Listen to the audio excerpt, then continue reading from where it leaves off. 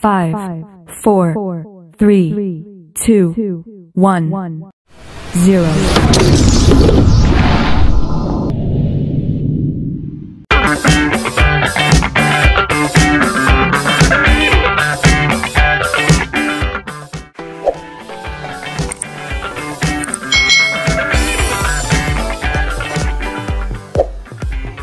Hi, hi, hai Selamat datang kembali di youtube channel Kak Citra. Apa kabarnya adik-adik semuanya?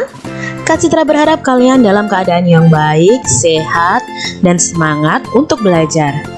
Hari ini kita akan belajar bersama-sama kembali di tematik kelas 2 sekolah dasar. Kita belajar di tema 7 tentang kebersamaan kita memasuki subtema 3 yaitu kebersamaan di tempat bermain pembelajaran 1 Mari kita belajar bersama-sama. Kebersamaan di tempat bermain. Setiap siswa memiliki teman. Siti memiliki teman di sekolah dan di rumah mereka bertemu untuk belajar dan bermain. Di sekolah, Siti dan teman-temannya bermain di halaman sekolah. Mereka bermain saat jam istirahat. Di rumah, Siti dan teman-temannya bermain di lingkungan rumah. Halaman, lapangan, dan sungai adalah tempat bermain yang menyenangkan. Hari ini hari Minggu. Siti dan teman-temannya bermain di taman. Mereka bermain kucing dan tikus. Bermain di taman membuat badan menjadi segar. Setelah bermain kucing dan tikus, Siti penasaran tentang kisah kucing dan tikus yang bermusuhan. Siti kembali ke kelas menemui ibu guru untuk mencari informasi tentang kisah kucing dan tikus. Adik-adik di sini, si Siti penasaran tentang kisah kucing dan tikus yang bermusuhan adik-adik Sehingga ia bertanya kepada gurunya tentang kisah ini Yang sedang dilakukan Siti dan teman-temannya tadi adik-adik? Ya, mereka sedang bermain. Apakah kalian pernah melakukan kegiatannya bersama teman-teman kalian? Apakah kalian pernah bermain dengan teman-teman kalian? Tentunya pernah ya adik-adik ya.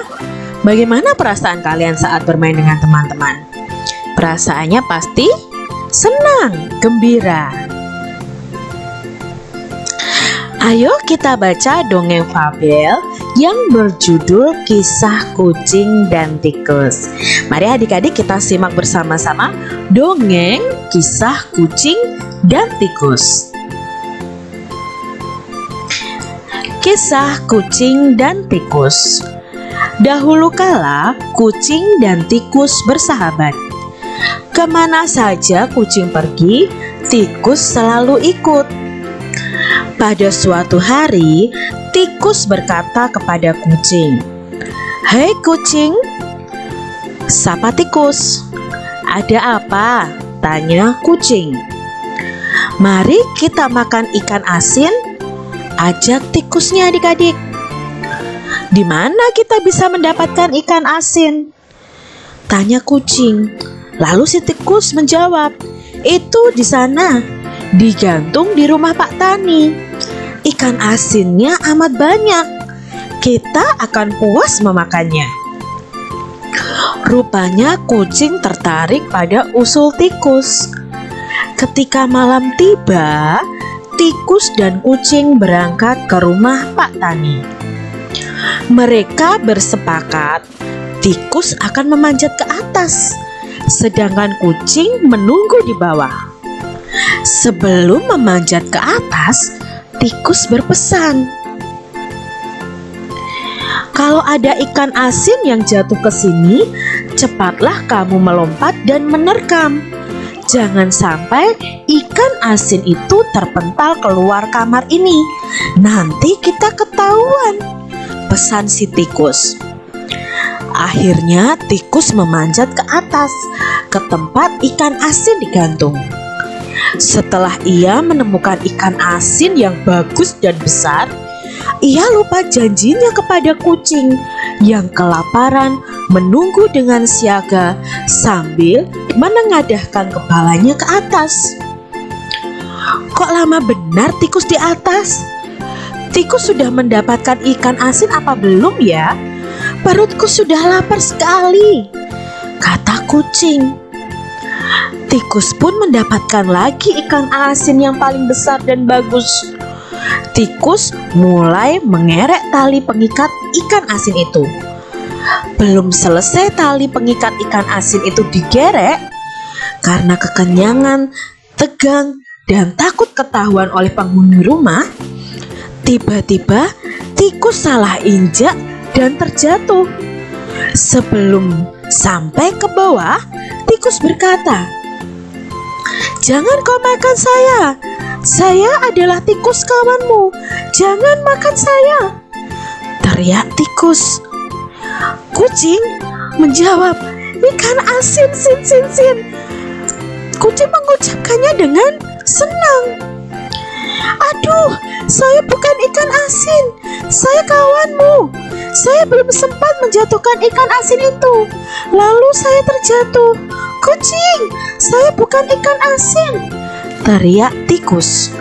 Tetapi kucing menjawab, ikan asin. Leong. Kucing tetap tidak menghiraukan tikus dan merasa ditipu olehnya.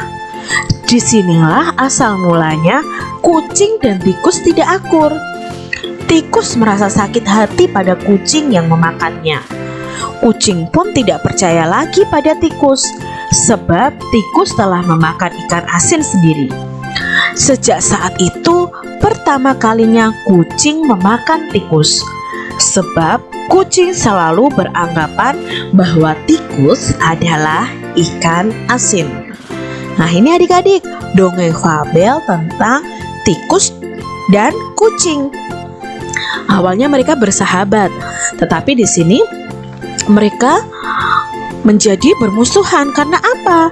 Karena tikus yang ingkar janji kepada kucing. Kalian masih ingat bahwa dongeng adalah cerita yang belum diketahui kebenarannya. Salah satu contoh dongeng adalah fabel. Fabel adalah cerita yang tokohnya hewan atau binatang. Kalian sudah mendengarkan dan membaca beberapa dongeng fabel di video pembelajaran Kak Citra sebelumnya adik-adik. Nah, ciri-ciri fabel itu adalah menggunakan hewan sebagai tokoh ceritanya. Tokoh hewannya itu memiliki karakter dan sifat seperti manusia dan memiliki alur cerita memiliki pesan-pesan kebaikan di dalam ceritanya. Nah, dongeng sendiri ada beberapa unsur. Yang pertama pasti ada tokohnya adik-adik.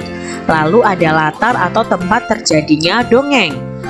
Ada watak atau karakter atau sifat dari masing-masing tokoh dalam dongeng dan ada pesan atau amanat yang disampaikan dari dongeng itu kepada kita.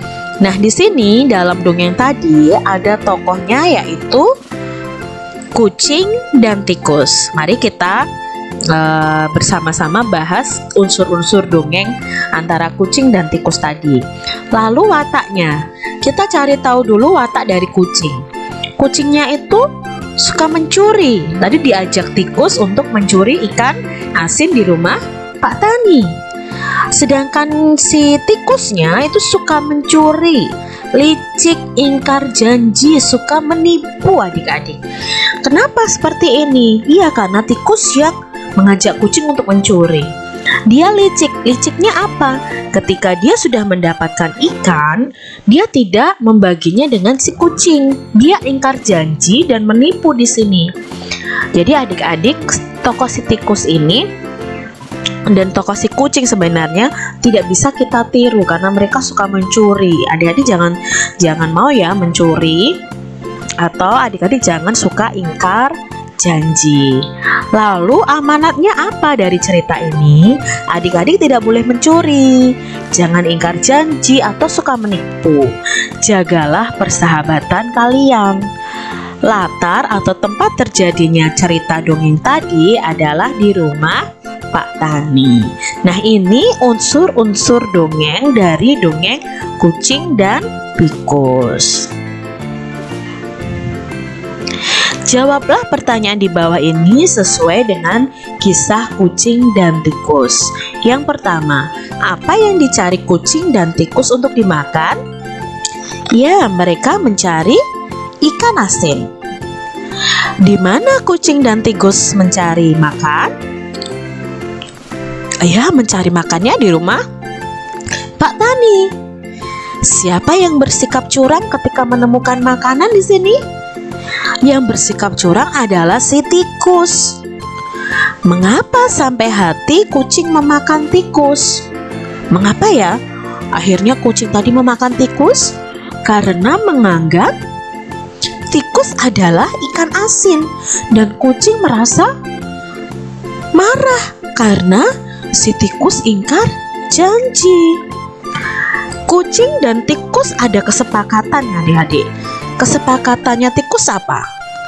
Ya, tikus yang akan memanjat mengambil ikan asin, sedangkan kucing yang akan menunggu menunggu di bawah untuk berjaga-jaga dan menangkap ikan asin yang dilemparkan oleh tikus. Nah, berarti kalian sudah memahami kisah tentang kucing dan tikus.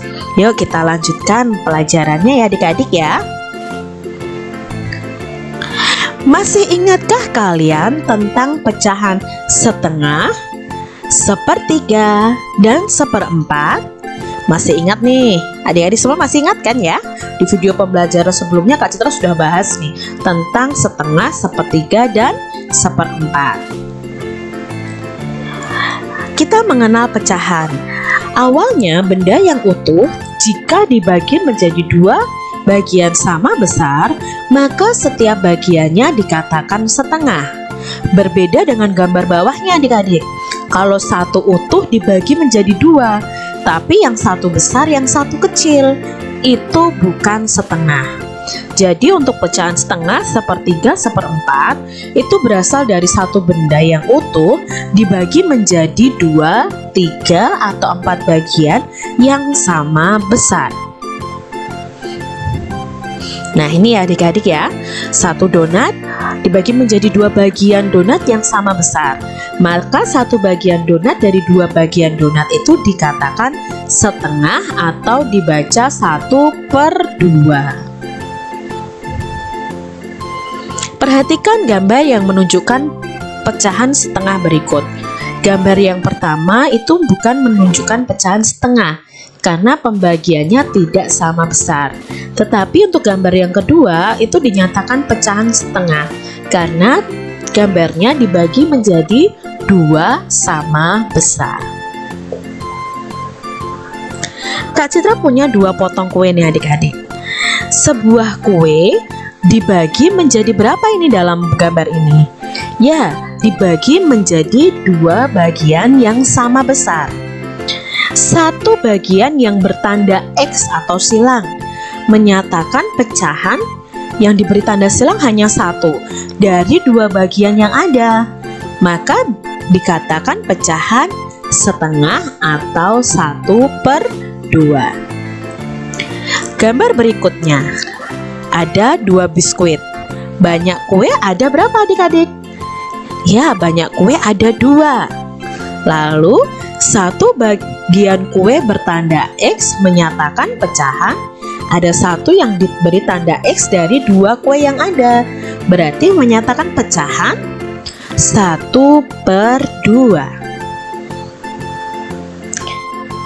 Di sini ada gambar puding adik-adik atau kue. Sebuah kue dibagi menjadi berapa itu adik-adik? Ya, menjadi tiga bagian yang sama besar.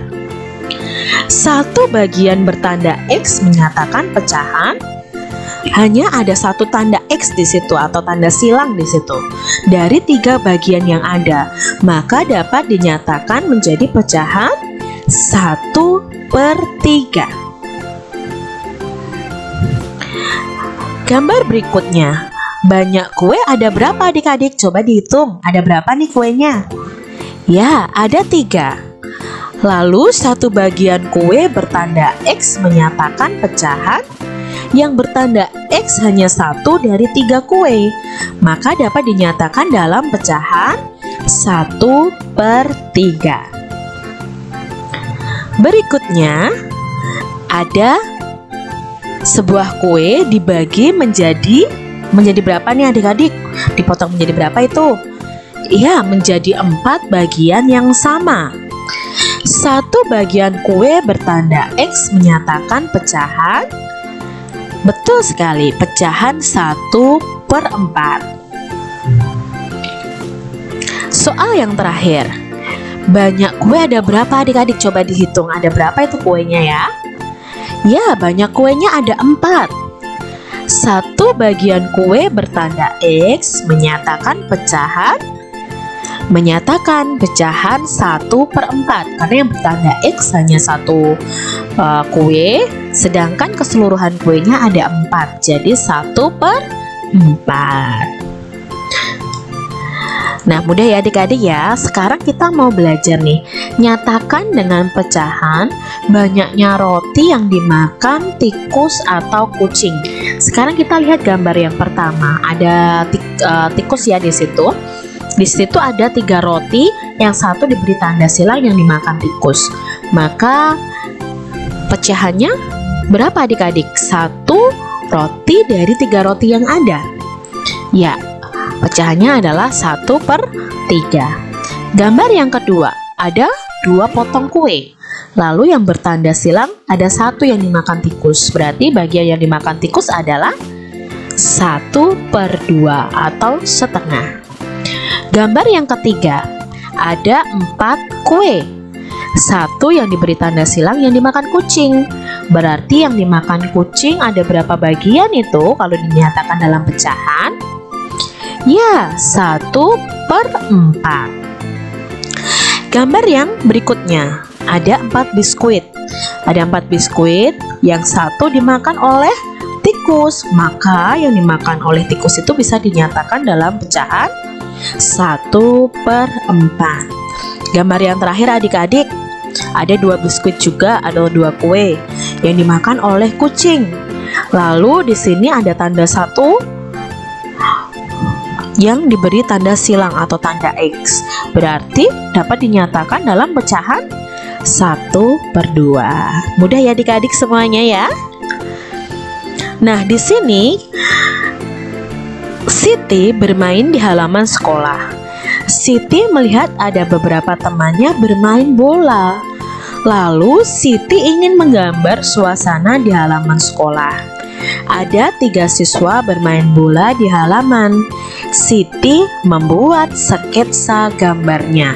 Ini adalah sketsa gambar Siti. Siti mengamati teman-temannya sedang bermain bola. Lalu Siti ingin menggambarnya dan Siti membuat sketsa gambarnya. Gambar imajinasi adalah gambar yang berasal dari khayalan atau imajinasi kita pada suatu objek atau benda yang mungkin kita lihat.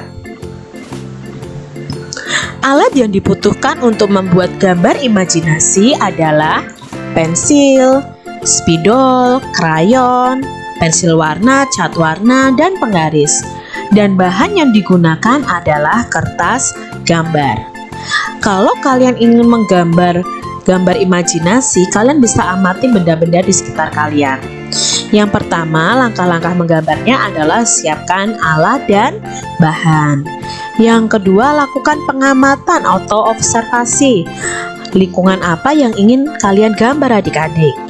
Setelah itu, buatlah sketsa gambar dulu memakai pensil seperti yang dilakukan Siti tadi. Jika sudah selesai sketsa gambar kalian, kalian bisa memberikannya warna supaya lebih bagus. Di sini kalian bisa memilih pensil, spidol, uh, krayon, cat warna atau pensil warna adik-adik.